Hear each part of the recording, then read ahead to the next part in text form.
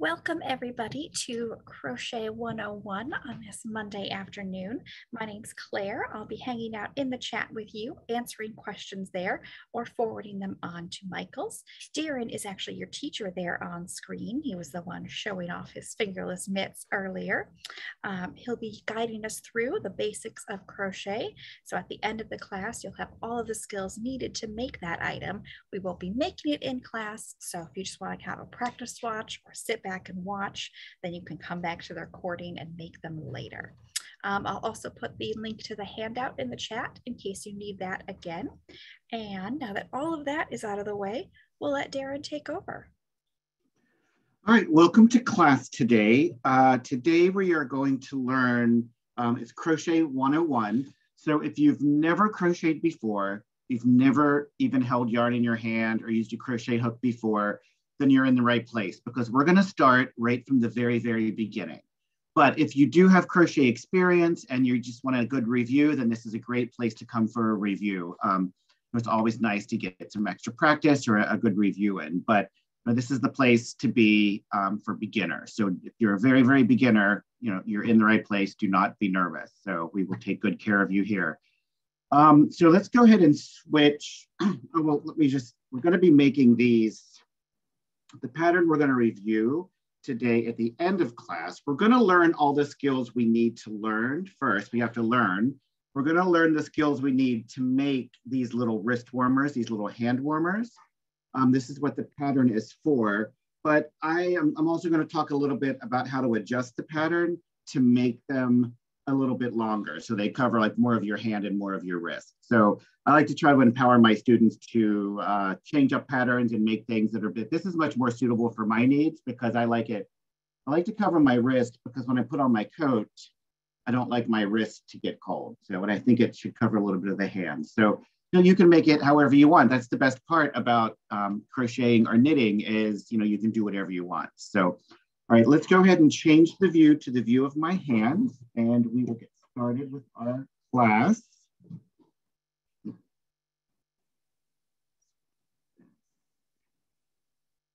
Okay, so for today in class, I'm gonna be demonstrating with um, Hometown. Um, I'm gonna be using actually Hometown Bonus Bundle. This is just a small ball of the regular Hometown, but I just wanted you to see what um, the label looks like. So this is Hometown.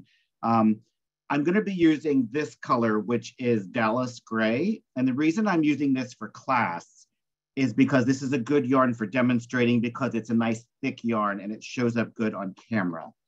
But if you bought yarn to make the projects, then the yarn that the project is made out of is this Heartland yarn, which is a thinner yarn. So this is the yarn you need for the um, hand warmers. So that's the only reason I'm using two different yarns in class is because this one, this thicker one shows up on camera, which is a great um, yarn for teaching.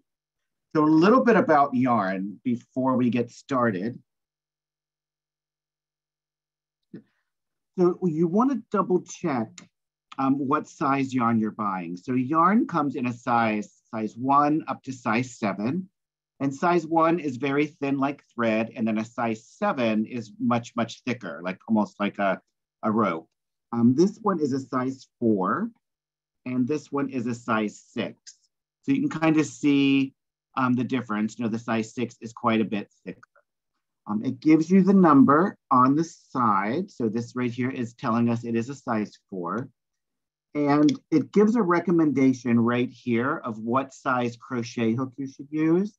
And this is recommending a J10, which is also a six millimeter. So there's a couple different ways you're gonna hear hooks being spoken about, about the size. So J10, and sometimes, you know, that can be, people can kind of interpret when they're making hooks, maybe it's slightly bigger or slightly smaller. Um, a six millimeter, however, though, is um, an exact unit of measurement. So it's like a scientific unit of measurement. So you do want to try to go by the millimeters if possible. Um, I'm not real comfortable with millimeters either. I usually go with the J, but of course, millimeters are scientifically more accurate. So just make sure um, you're looking at the right thing and you understand how the hooks are numbered. for their sizes.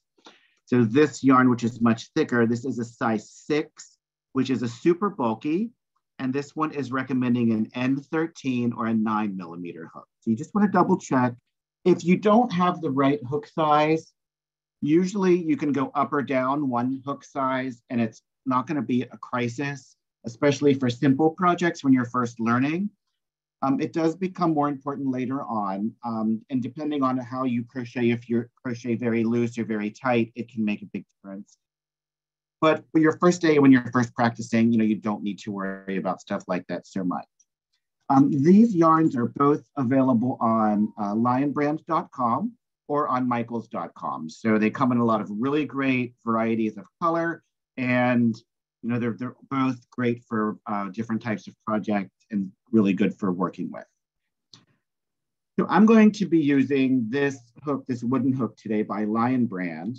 Um, and for the larger yarn that I'm gonna be demonstrating with, I'm gonna use the N13, which it recommends, which is also a nine millimeter. So there's, again, the two different ways you can talk about the size of it. And just a little bit about a crochet hook. Um, it's really basic, but just so that you understand that they are sometimes shaped different. This little point right here, this is the head of the crochet hook. And sometimes they're very sharp and sometimes they're very rounded, so they can be shaped different. This is the mouth. So this, um, the deep part in there and then the hook, that is the mouth of the crochet hook. And then this part that slants down is, I've heard it called the neck or the throat. So sometimes on different hooks, um, you'll find this is shaped more, it's more of a slant or maybe it's it's less slanted. Um, sometimes this mouth is very deep and sometimes it's very shallow. Um, and then in, within different combinations of all of those, sometimes the head can also be shaped different. So if you get a crochet hook and you can't use it or you don't like it, um, don't think that you're just like not using it right. Sometimes people just don't like different types of hooks. Some of them are shaped different, some of them have different properties, and you're just not going to like them. So if you have a hook that you don't like, you know, try a couple of different brands, try a couple of different shapes. They come in wood, plastic, metal. I like the wooden ones. I do like the metal ones quite a bit. Um, so you can see these two hooks here are actually shaped quite a bit different. Um, so sometimes you'll like one better than the other one. I always like to point that out to students. Um, this right here is the shaft, and this part here is what is actually nine millimeters. And then there's a finger rest right here for you to hold it. So that's just the basic parts of the hook. So just kind of knowing that they're sometimes shaped different, that can sometimes help, you know, you understand why you like one type of a hook and maybe a different brand you just really can't use. So any questions about yarn selection, um, yarn sizes, um, hook selection or hook sizes? Any questions about that at all? Just some real basic information to kind of get us started. For practicing, it's okay for students to just use um, whichever hook might be suggested on their yarn label, right? yeah for practicing or even even for a project you know use whatever it's best to start with the hook that is suggested or recommended and then you know if you don't have that hook you can go up or down one size usually without too much a problem so you kind of want to make sure it's working before you you know get too far into your project but usually the one recommended or up or down one size is okay that was just specifically for like people following along in class today Okay. Oh yeah, for today, yeah, it's fine. For practicing, you can, as long as the hooks, like you wouldn't want to use this great big hook with this thin yarn because it's gonna it's gonna look weird. You're not gonna feel like you're doing it right. So you, you do want to try to use a hook that's close to what it's recommended. That's that's what I would say. Does, that answer that? Is that what the question was? I think that clears it up for everybody. Okay. All right, so the first thing we need to do is we need to attach the yarn to this hook. And the way we do that is we create a slip knot and then we can put that slip knot on our hook to get it attached. And you might already know how to tie a slip knot. So if you're a knitter or if you were in like the Boy Scouts or Girl Scouts, you might already if you do macrame, you might already know how to um, tie a slip knot. There are many, many ways, but I'm going to demonstrate another, I'm going to demonstrate one way here today. And you certainly don't have to use this way, but you know, this is one good way. I um, call this way short over long. So you take your short piece of yarn, which is going to end up being your yarn tail, and you make a loop, you make a circle, and you put that over your long piece of yarn. And then the long piece of yarn is what's connected to your working yarn. So it's very long. It's, you know, could be 200 yards long or whatever. So we start like this, short over long, make this little circle. You put your hand inside the circle. You slip your hand underneath the strand of yarn.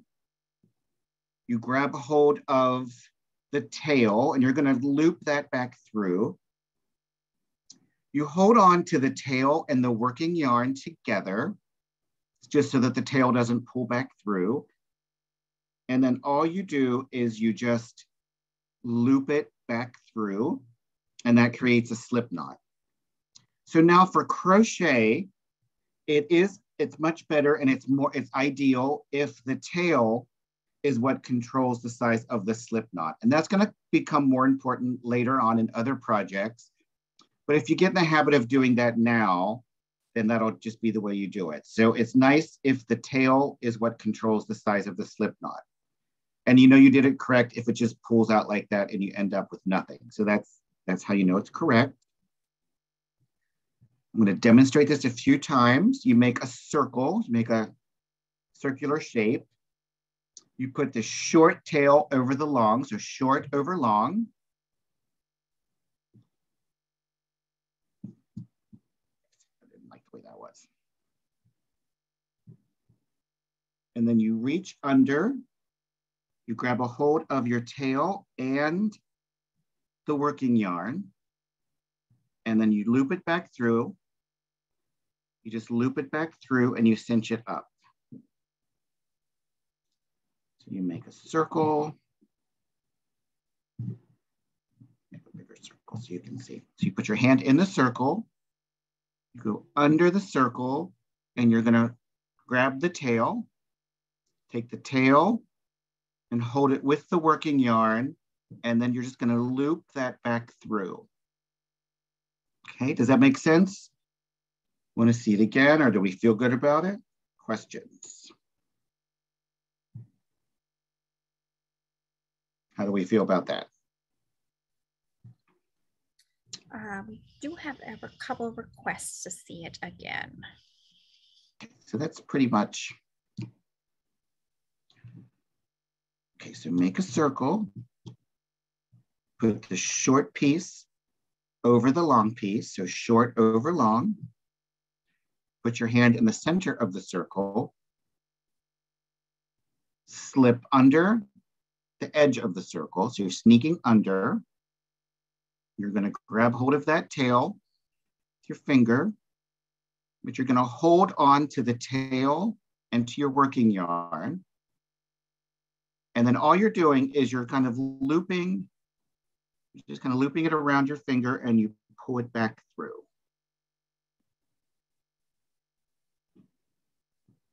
And that's kind of how it looks like in real life. In real life, I just do it like that. It's the same thing, but you're just holding it, twisting it, grabbing the tail and pulling it through. It's really the same thing as this it's much easier than it looks. Sometimes when you're breaking something down step by step, it starts to look really complex. Um, but it's, it's really, try not to make it into a, a complex situation. It's actually pretty, pretty easy, okay? So once you get your slip knot tied, I mean, was that good, or is, there a specific spot where we're getting hung up, or is there a certain thing that we're not understanding, or? Um, we have one quick question. Can you just tie a knot? You know, you can. You can basically you can do you know anything you want to. Um, if you start out today with just tying a knot, it's probably going to get you through. But for more complicated projects and for projects later on, you are gonna want to um, do the slip knot. Um, if you can't seem to get the slip knot, don't let that stop you. Don't let that be a blocking point. You know, just tie a regular knot and push forward. But you know, you are going to want to learn that going forward. So, you know, best practice. I always try to teach best practices. Best practice is to tie a slip knot where the tail is what's controlling it. But if you just, you know, tie a regular knot, I'm sure that you can probably make that work as well. Okay once I'm a very flexible teacher. Some teachers would absolutely tell you, no, you cannot do that. That and but you know, I feel like you need to do what you need to do. So, and then you just pop that on your crochet hook. You cinch it up. You do want to make sure everything is, um, you don't want it to be tight. So we're not trying to, to tie it securely onto the hook. Everything should move tight. I'm, I'm sorry, everything should move loosely. We don't want it tight. Your tail should be about six or eight inches long. This is a little bit too long. You don't want it too short though. If it's very short, then um, it's gonna be hard later on. We're gonna sew this tail in um, later on as part of our finishing. And if it's very short, then it's gonna be hard to sew in. If it's very long, you end up wasting a little bit of yarn and sometimes it gets in the way. So you know, about six or eight inches is about the correct length. So, okay, so any questions about that? The next step is to uh, work a crochet chain. We're ready to move on to that.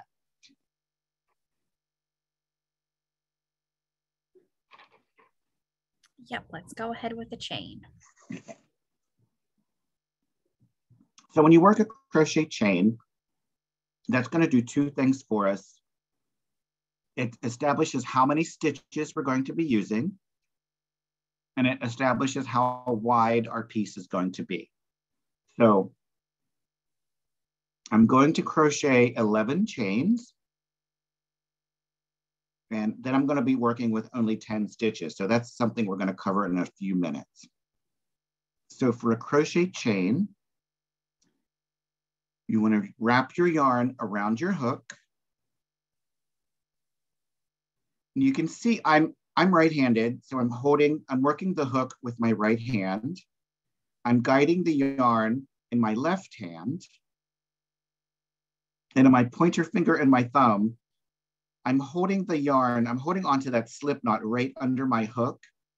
And I'm kind of pulling down, which it kind of opens up there. See, when I pull down, it opens up that little window, that little triangular window under my hook. And it gives, uh, it creates a little bit of space for me to pull that hook through. So this is how I hold mine. I kind of pull it right there. It opens up that space and then it makes it much easier. So you wrap, you can either grab it with the hook or you can wrap it around, so whichever way you want to do.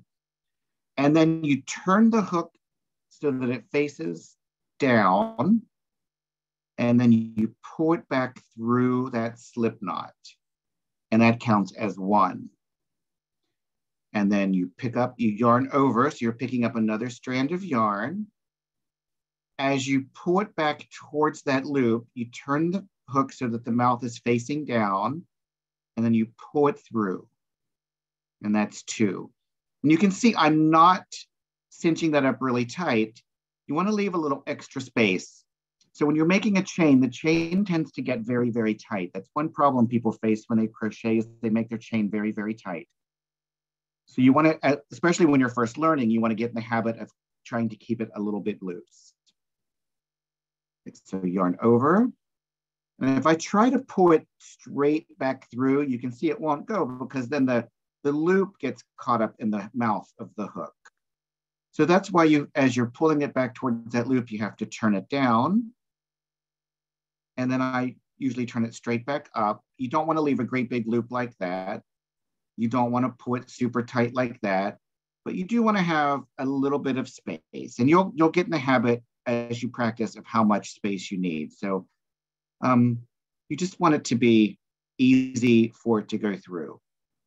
So if I'm trying to pull it through and it won't go through, I know I've pulled it too tight.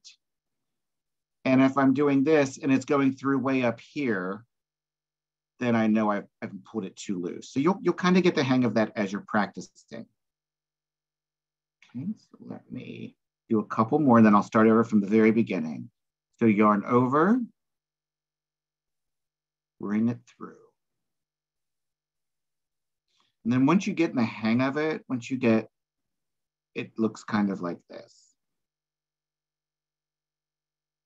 And then I'm going to readjust my grip after I do a couple of chains.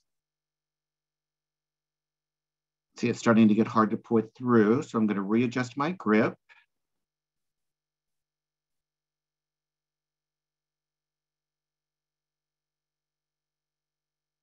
and that's the chain. So I'm going to take everything out. We'll start from the beginning, and then I'll wait and see if you have any questions about any particular aspect of that. We do have a question about how you're holding the working yarn in your left hand or how you're tensioning it. Okay. So I've got my slip knot. The tail is controlling the slip knot.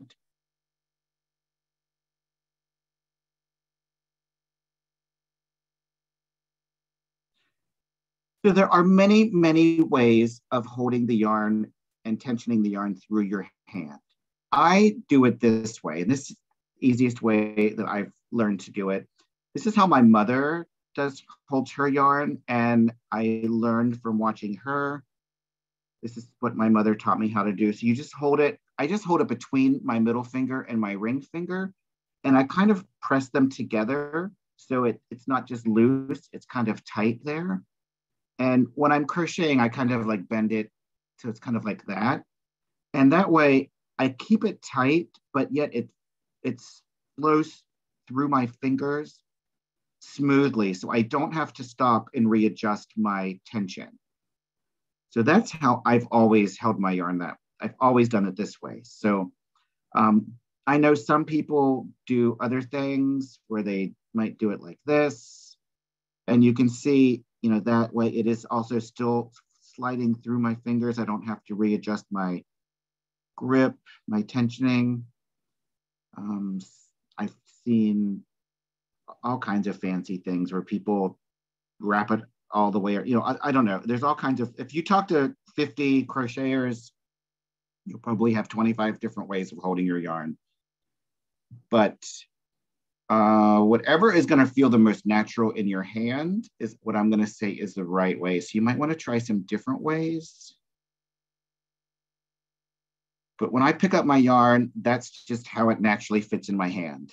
And that's just the way I've always, always done it. So one, two, three, four, five, six, seven, eight, nine, 10, 11. Okay, so I'm gonna stop here for just a second and see if we have any questions.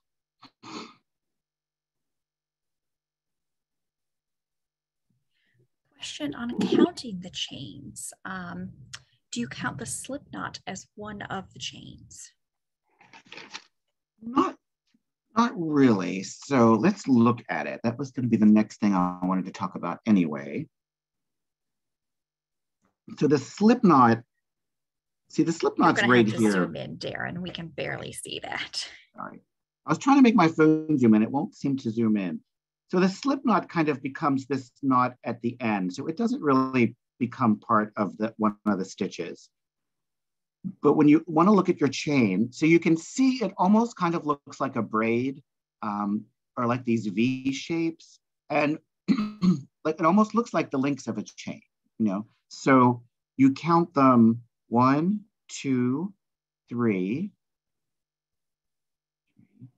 four, five, six,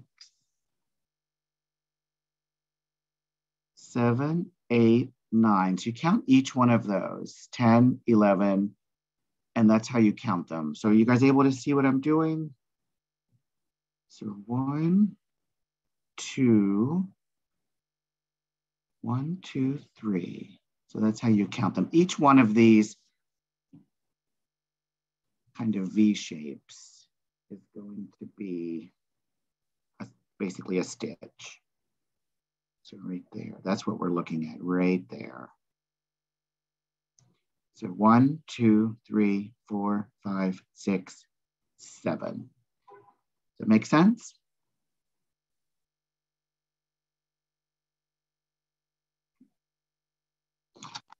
So I crocheted, I made 10, I'm sorry, I made 11 chains, but I'm gonna be working with 10 crochet stitches.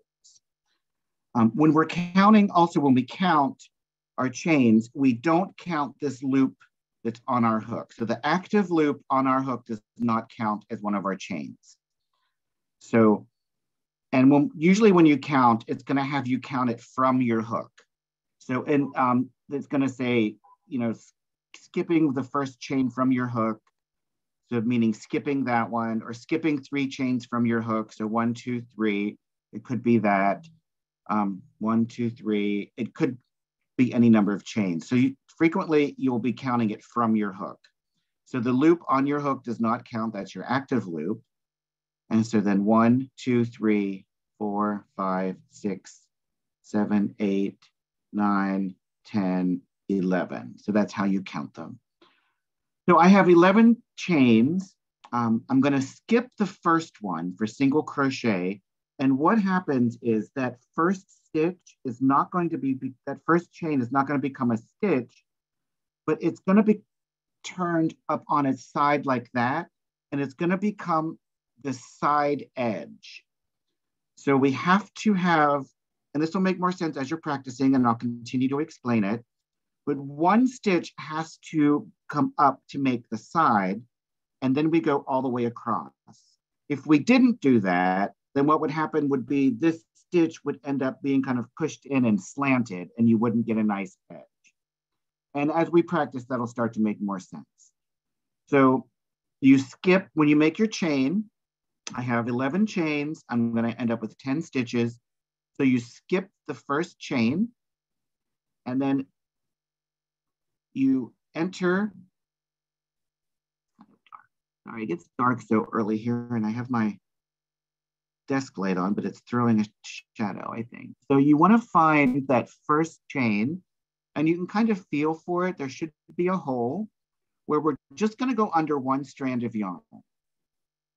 So we're gonna go under right there. So just go through one strand of yarn yarn over, bring up a loop. I have two loops on my hook, yarn over, bring it through both. And I'm finished my single crochet. That's one single crochet finished. And then you wanna go to the next chain and you can feel it, you know, feel, feel for that or look for it you go through, and I'm just having one strand of yarn on my hook. I'm just going through with one strand of yarn. Yarn over, pull it through your chain, two loops on my hook, yarn over, and pull it through both. And then that is my single crochet finished. Then the next chain, right there.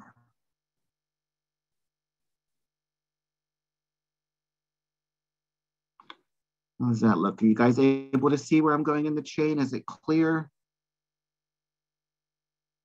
So that's what the chains look like.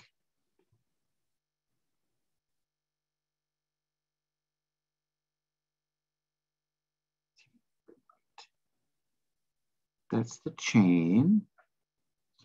And the next stitch is going to go right in there.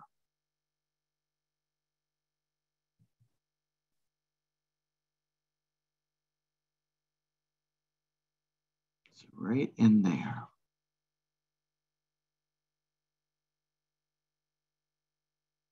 And then once you get going, once you get the hang of it, it actually moves pretty fast.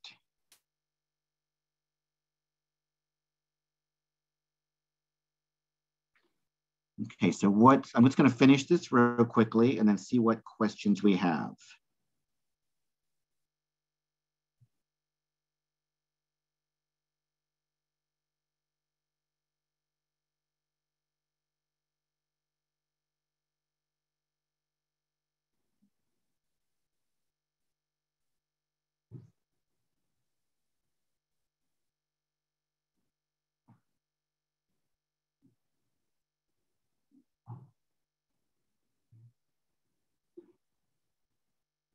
Okay, so I finished all of my stitches. So that's the first row complete. I have my chain and my first row complete. Now then what I have to do to turn and do my second row is I have to chain one. And that chain one becomes the side for my next row. So that becomes the height. So that becomes the side. And then you turn your work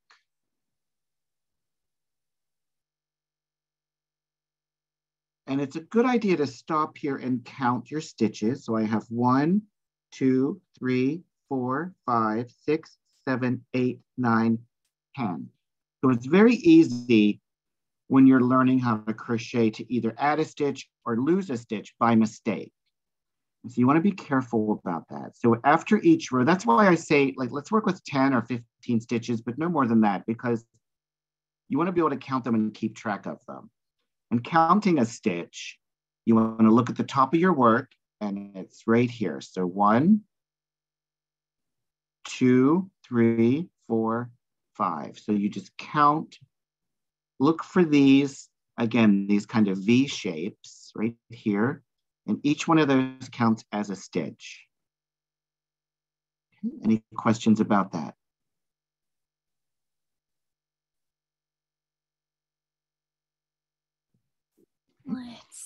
Here. We had a bunch of questions come in at once, so I'm sorting through them all.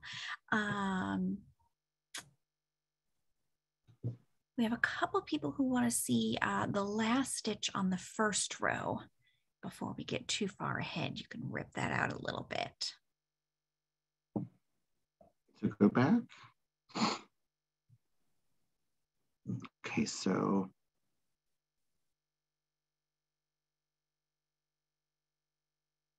There's the last stitch right here. So you just do the last stitch. Okay, I've completed my stitch.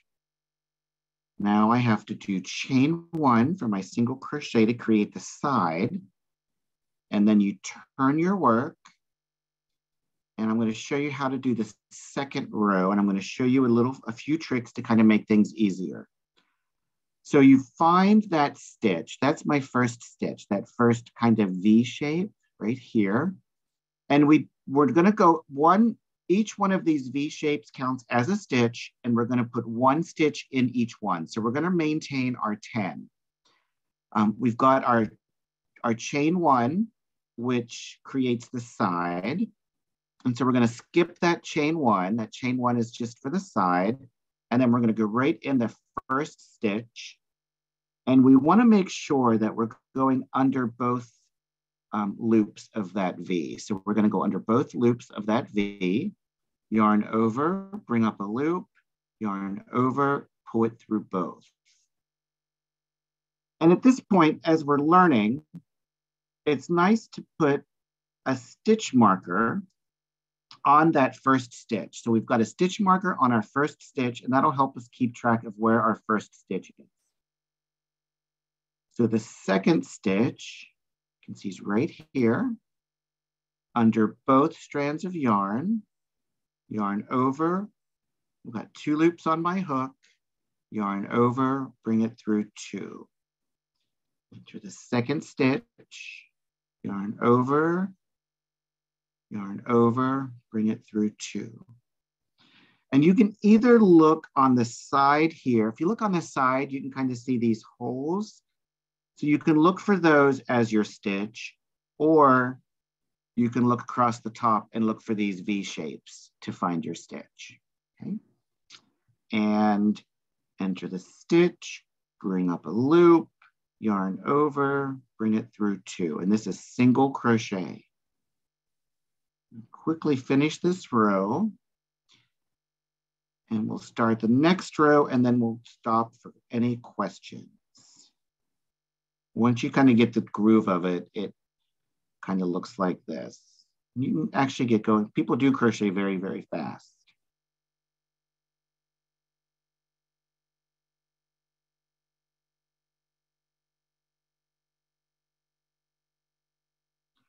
Okay, so this is my last stitch. And when you do your last stitch, we're gonna wanna put a stitch marker in that last stitch to help us keep track of where our last stitch was. So sometimes that's gonna be important.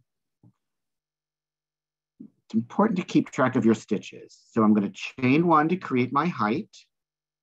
That's for my next, the height for my next row. Turn my work. And I'm going to put one chain I've got my stitch marker there, so I'm going to take it out, put my finger there. I'm going to do one stitch in that first stitch. I'm going to put a stitch marker in my first stitch to keep track of that. And you won't have to do this with the stitch markers after you practice, but as you're learning, it really helps you to learn how to keep track of where your stitches are if you're putting that stitch marker there and so you're sure. So I'm 100% sure that's where my stitch is. Okay. Look for my next Darrin, one. I think we gotta stop and go back here. We've got a lot okay. of confusion. all righty. I think we need to go all go the way back to where we have 11 chains.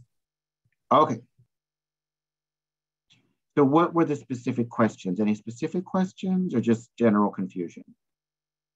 Which I'm in support of general confusion. I don't know. Um, when you're making the chain and then on your your second row, people have noticed that in the chain you're only going through one piece of yarn or under one piece of yarn, and then the next row you're going under two pieces of yarn. Correct. Yes, yes. that's correct. And, um, did have someone in the chat mention the back bump of the chain. We're not going to cover that in this class. It's easier mm-hmm. if everybody just goes through um, one loop on the chain there. Yes.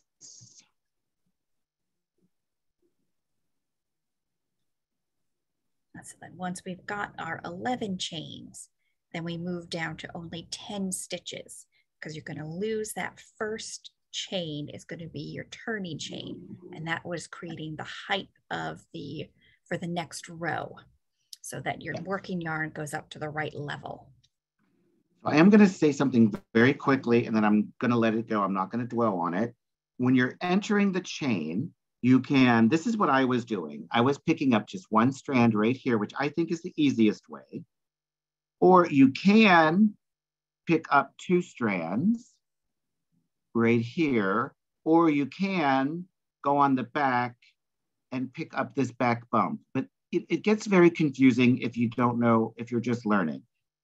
Um, so just because somebody brought it up, I did want to mention that there are at least three ways of entering the chain. But um, for beginners and for people that are just learning, I strongly recommend let's learn one way. And then as you're practicing future projects, you can practice you know, the other ways. Because they can be very, if you keep doing it different ways, you're gonna get confused. So, so I have 11 chains. I'm gonna skip the first one. Remember the active loop on my hook does not count. So I'm skipping the first one. And I'm gonna enter my chain by going under just one strand of yarn. Yarn over, bring up a loop, yarn over, bring it through two. So does that does that answer that question about skipping the first one and where I'm going in on the chain? Do we need to review that again? How do we feel? So I am just picking up one strand for the chain. I think if we just go slowly across the chain here, hopefully that will help.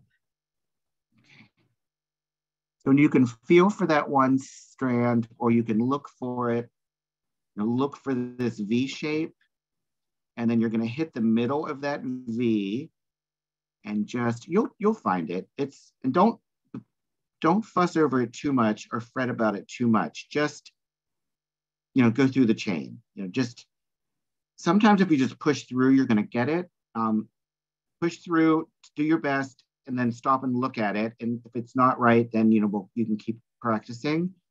But if you really like dwell on it and fuss over it too much, then it, sometimes it just makes it into an impossible condition to work through. Um, it's probably easier than you think.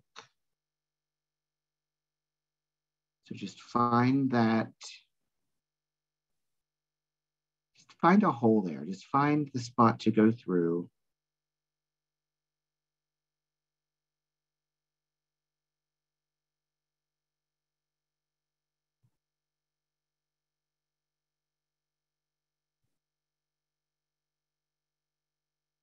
So you can kind of feel it with your finger and see if you can't quite look for it.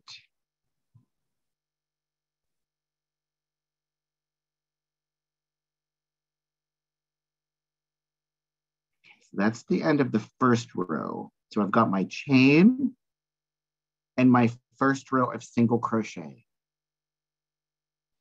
And now for single crochet, you chain one, and that creates the side, that side edge.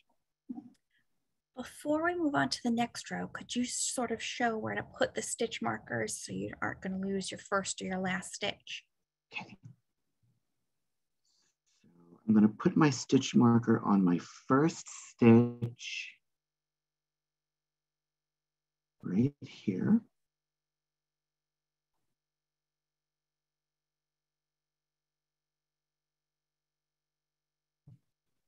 And not the chain that we did. So do we want to count them and see? Sometimes it's good to count and make sure we didn't do it wrong. Maybe we did it wrong. So one, two, three, four, five, six, seven, eight, nine, ten. I did it right. Yay. So sometimes I do it wrong too. So anyone can make a mistake. Anyone can do it wrong. So I've got my first stitch, I've got my last stitch. And this last stitch we're going to change pretty quick because that's going to become, you know, once we turn our work. But we've got our 10 stitches. I did my chain one. Now I'm going to turn my work. And I'm going to put, I'm going to put a chain, one, one, I'm sorry, I'm going to put one single crochet in each one of these stitches. So I'm going to take this one out, but I'm going to kind of keep my finger there to keep track of it. And at this point, we're going through both. And there are, later on, there are other stitches where sometimes we do different things, but let's, we're learning this stitch today. So today we're gonna go through both. And then I'm going to put a stitch marker on that first stitch to keep track of it. And then that way it'll help me keep track. And then I'm gonna find each stitch going across. So, and you can look for the kind of the hole on the side, or you can look at the top to find your stitch, or you can kind of look for both. You can kind of feel for that hole and then turn it to find, make sure you're going in the right place. That's kind of how I do it. I kind of hold it like this. So you're gonna go through. And you can see I'm picking up two strands of yarn here under both. Yarn over, pull it through. Yarn over, pull it through both. Enter the stitch, bring up a loop. I have two loops on my hook. So it seems like everyone understands how to do the single crochet, but the questions are just about like where keeping track of the stitches and is that is that what most, of the questions are? Uh, we did have some on the single crochet itself. I think hopefully um, doing this slowly. And then, yes, some questions on um, going under the two. Basically, if you're going under the two pieces of yarn you're looking at at the top, you are also going through the hole that you can see on the side. It's the same thing. You're just looking at it two thing. different ways. yes, I hope that wasn't confusing. Yeah, that's two different ways of looking at the same thing. So if you find that hole on the side, that's why I said find the hole on the side and then turn it and find that V at the top to make sure you're looking in the right place. So if I'm finding that hole here on the side, right there, and then I turn it, I'm looking at the V. So it's the same thing, but sometimes it's, if you can't see it one way, if your yarn's very fuzzy or if your stitches are very tight, you know, sometimes it's hard to see it. So that's two different ways of kind of verifying where you are. So you enter, yarn over, bring up a loop, yarn over, and then pull it through both. And you can just kind of watch as you're entering the stitch. So enter the stitch and you can see I've gone under both. And if you only go under one, you're gonna see, okay, so there's only one strand of yarn on my hook. That's not right. So you go under both. Yarn over, bring it through, yarn over. So now here's, um, so sometimes if your work is kind of stretched out of shape or if it's very loose or sometimes if it's very tight, it can be distorted. And sometimes it might be hard to tell, like where is my last stitch? So if I didn't have this stitch marker, so I know that's my last stitch, but if I didn't have it, um, sometimes that can look, maybe if it's turned under, sometimes it can look like, oh, I finished all my stitches. You know, that that's the edge right there. I finished my stitches. So I'm going to chain up, turn my work. Um, maybe you don't realize. So clearly I have another stitch, but maybe you're not gonna realize. And then this is why I say it's important to count your stitches. So let's count one, two, three, four, five, six, seven, eight, nine. Okay, so I have nine stitches. So I know I did something wrong. And then if you start looking, I mean, clearly in this situation, you can see that that is definitely a missed stitch, but sometimes you know, it might look more like that. Like if these stitches are looser and that one's tighter, you know, sometimes it's hard to tell.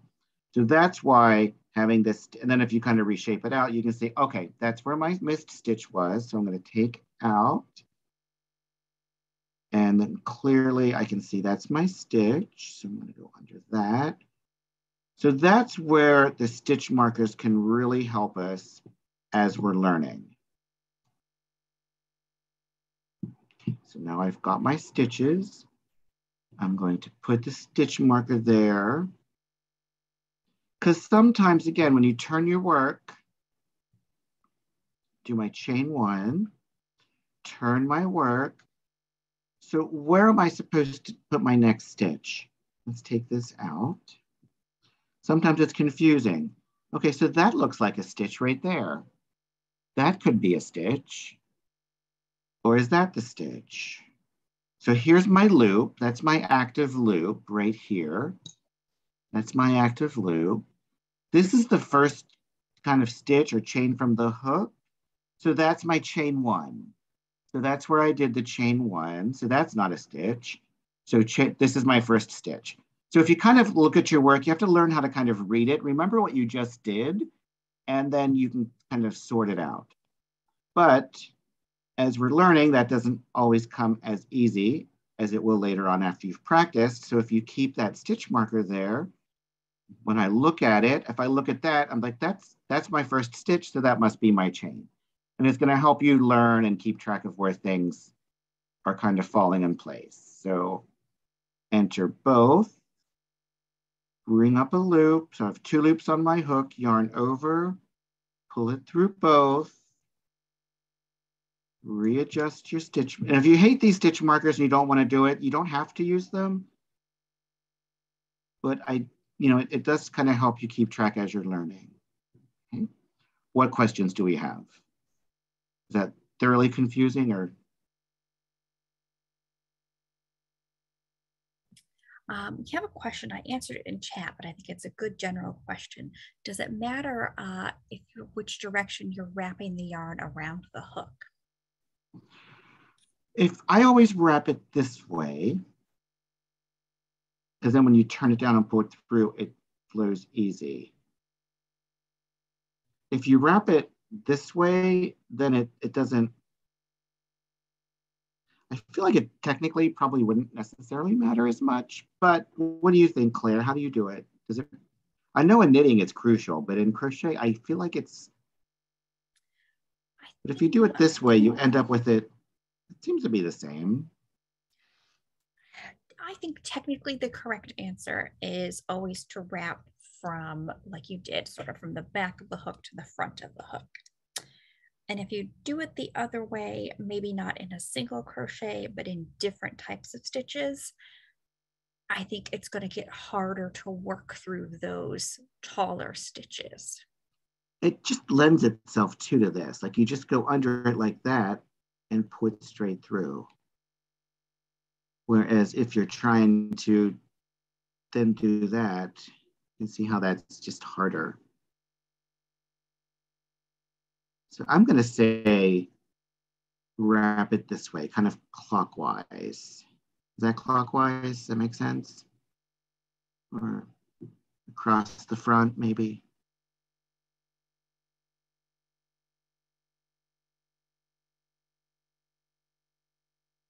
I've just never seen anyone wrap it the other way. So I don't know. Things usually matter though, right? Don't they usually matter? They do, yes. There's a reason somewhere back in history that we all do it this way now. Yeah, but when you start doing fancier stitches, if you start doing like crochet two together, like you said, triple crochets or doubles, half doubles, it it'll it's you know can start to make things look different. So and we've had a couple people ask um, when you are turning your work, like when you finished your row and you're ready to start the next one, um, does it matter which direction you flip the work then?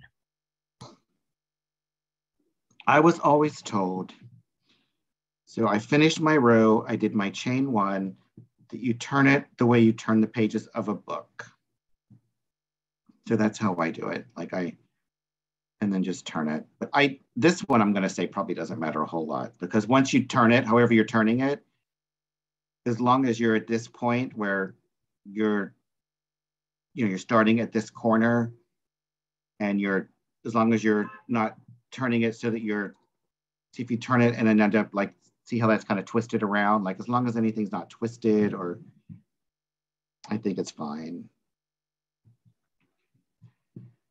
So we're you know, we're getting kind of close to the end. So what I'm going to do is I'm just going to quickly do a single crochet across this one. I want to show you how to end your work, quickly touch on weaving in ends, and then we're going to look at the pattern, which is very simple. So I'm going to quickly go across this row just so I have a little bit more fabric to work on. And once you get the hang of it, you can go even much faster than this. I don't tend to crochet fast, but some people can really go very, very fast.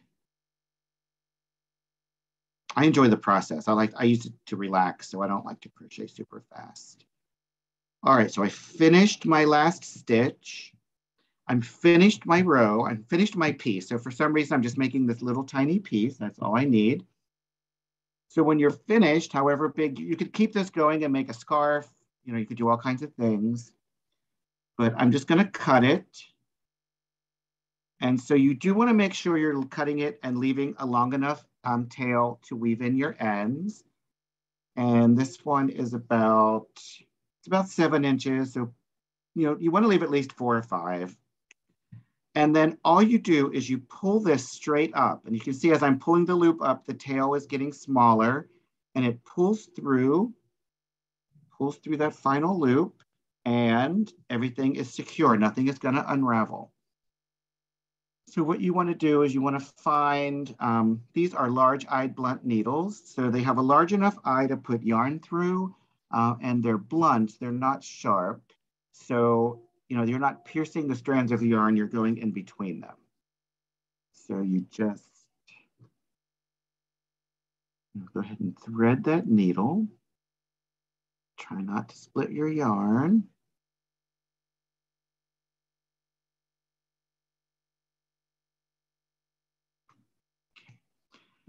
Now, crochet stitches are three-dimensional. Um, they're very thick.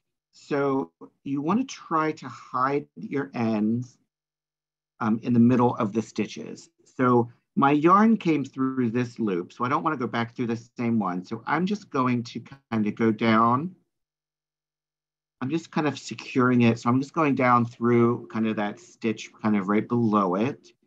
And you can see that I'm going in the middle of that stitch. So you can't see my needle any on either of the sides. So I'm going in the middle of that stitch. So you put down and there's, there's not a, there's many right ways to do this. What you want to accomplish is you want to secure your ends and you want to hide them so that they're not distorting the shape of your work.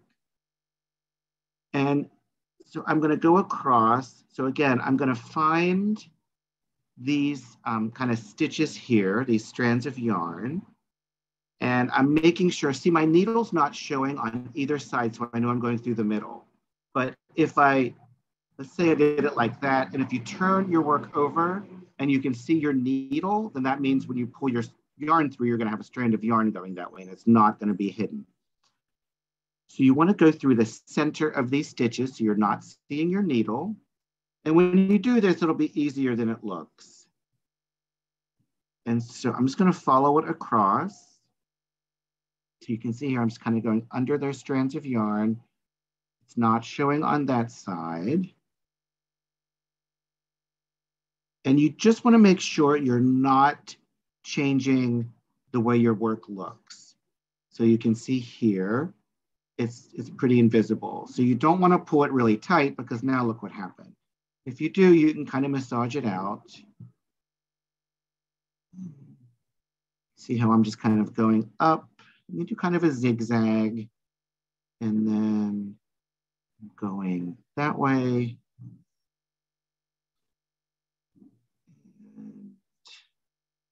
But you want to make sure, and the thing, as you're doing this, you want to stop and look and make sure you can't see where you were.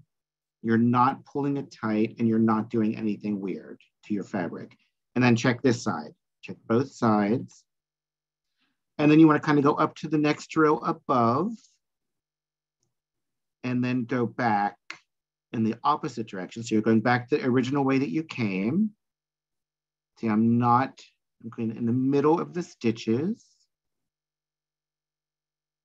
and people make a lot of like people have a lot of opinions about how to do this and they'll tell you all kinds of crazy things to do. I like to just keep things as simple as possible. Just make sure you're not changing the way your work looks. You're not distorting it. You're not adding any um, texture because you're going in the middle of the stitches.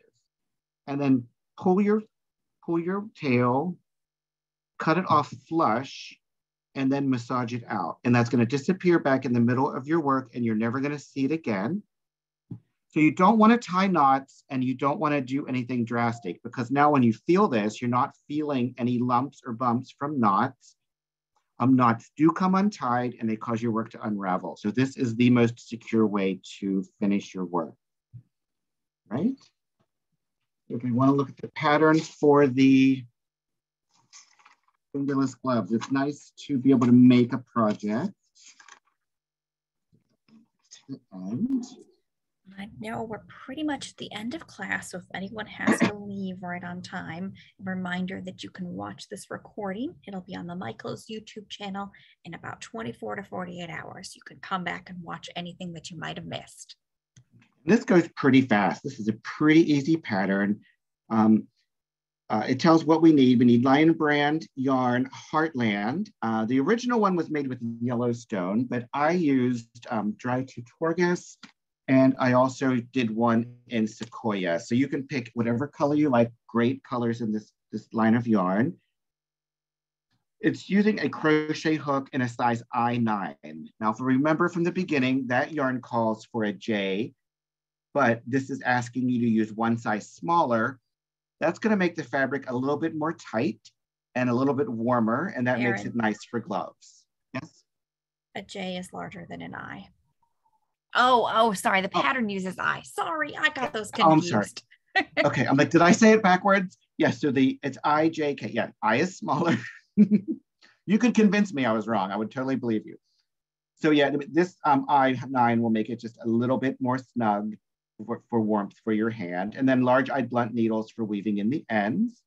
We're not gonna worry about gauge because that's not crucial for this project. So for the wristers, you're gonna chain 21. So after you've practiced a bit, you can you start the wristers, chain 21, you're gonna single crochet in the second chain from the hook and in each chain across. So just like I showed you going, you can go under just one loop for the chain.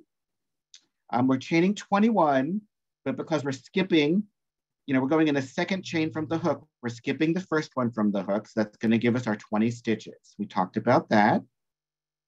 Um, you're gonna go all the way across, chain one, turn, and then you're gonna single crochet in each stitch across. And it's a good idea to count them and make sure you're maintaining 20. Repeat row two until your piece measures about six and a half inches from the beginning and then fasten off just like I showed you, cut your yarn and just pull it through. So this is very simple.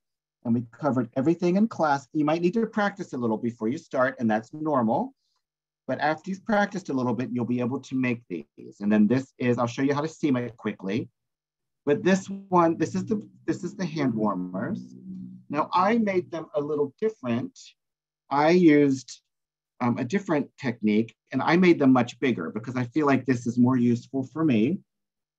And the only thing I changed was instead of chaining 21, for the larger wristers, I chained 31. Um, and I just wrote it here to keep a note. But then this other pair that I made, I chained 41. And so you can see they're even, they go further up the wrist. So you can do anything you want. And that's what I want to try to empower everyone to realize. You don't have to follow the pattern. If you're making these for somebody that has a very large hand, you, instead of going six and a half inches, maybe go seven and a half. If you're making them for a child, instead of going six and a half inches, maybe go four inches or five and a half. You know, you can, you can measure the hand, wrap it around the hand and try it. So don't be afraid to make some adjustments. And then now you are a crochet designer. You are a crochet wear designer and you're ready to go, right? You can start writing patterns and selling them online. So that's, it's as easy as all that. I mean, that's all there is to it. So what happens though when you're following the pattern, you end up with a rectangular piece of cloth like this. And when you fasten off, um, I've kind of worked this up and taken it apart several times. But when you fasten off, you don't want to cut your yarn short. You want to leave a very long piece of yarn. Um, so you're going to be using that as for weaving in your ends. So when you fasten off, you leave a yarn tail that's maybe about 15 inches or 10 inches or a little bit longer.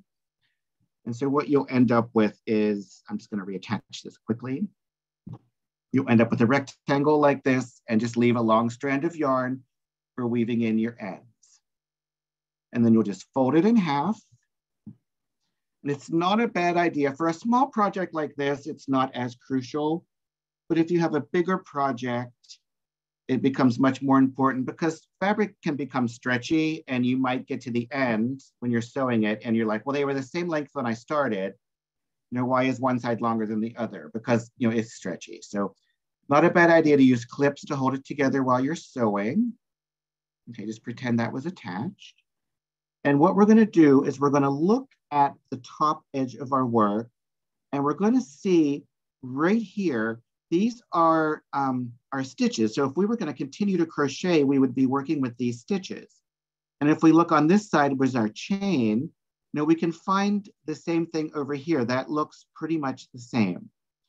So we're gonna find a nice corner. We're gonna get right there on that corner and right on this corner. And mine doesn't look so good because I've, again, I've taken this out and redone it several times. So yours will be fresh and nice. And then the next, you're gonna go in each one of these, just as if you were crocheting. You don't wanna skip any.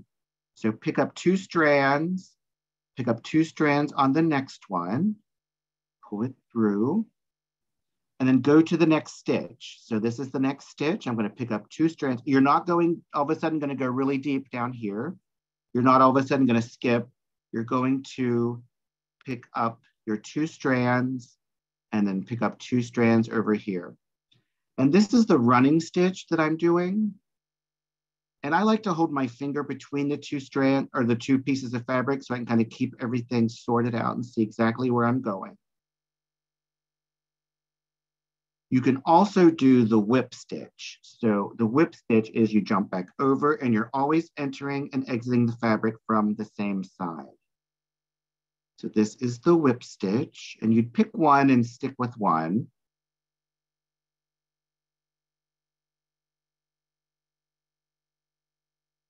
But I like the running stitch and I'm always kind of zigzagging across. I exited the fabric here and I'm gonna enter back from the same side. And so it's the running stitch or basting stitch or the whip stitch. And so all you do is you, you go so far and then put it on if you want to, measure it against somebody's hand. You're gonna leave room for the thumb. So for leaving room for the thumb, what I do is then I just sew it on just one side. I'm leaving a hole for my thumb. So you can see I'm just kind of going back and forth on this just one side and figure out how big of a hole you need for either your thumb or whoever you're making it for. And then now we're gonna start attaching it to the other side. And you don't have to do this on your hand. I was just doing it on my hand so you can see what I'm doing and then continue with whatever stitch you were doing for the seam. And if you do this and it doesn't look right, if you don't feel like you did a good job, you can take it out and give it another try.